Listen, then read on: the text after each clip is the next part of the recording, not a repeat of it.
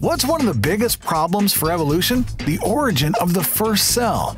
Though the cell is the basic building block for life, its design is actually very complex. We could compare the functions of a cell to those of computers, building projects, and even whole cities.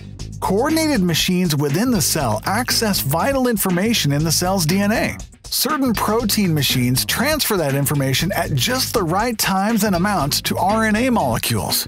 And others use some of that information as blueprints to build more proteins. So it takes a protein along with DNA and RNA to make a protein.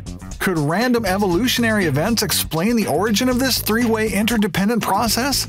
Some believe that the first cell arose spontaneously from a warm pond of chemicals, but attempts to produce simple biomolecules from supposed early Earth environmental soups have produced nothing even close to the array of complicated chemical machinery that functioning cells use. These experiments keep running into a stubborn fact. Natural processes tend to destroy the hardware of life rather than craft it. What about the software, the programming inside cells? Evolutionary scientists shifted their attention to DNA, codes that tell cell parts what to do and when and where to do it. But biological codes are more complicated than computer codes. The true origin of life must account for the complex information programmed into the cell that directs protein machinery to do things like make more proteins.